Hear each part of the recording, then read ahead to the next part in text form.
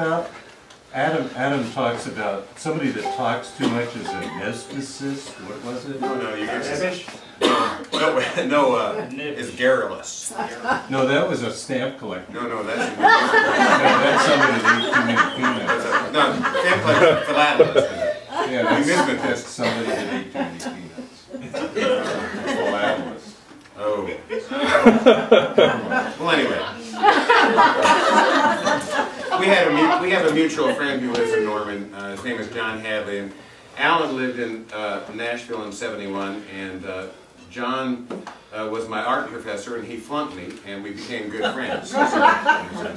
And we moved to Nashville together in nineteen seventy-one, he had, like I said, he had a sabbatical, and I'd been working in a theater in Arkansas, and got done with season there, and and uh, John went to write songs and to become a songwriter, and he has since, in the 43 years since then, he's had 700 songs published and 500 cut.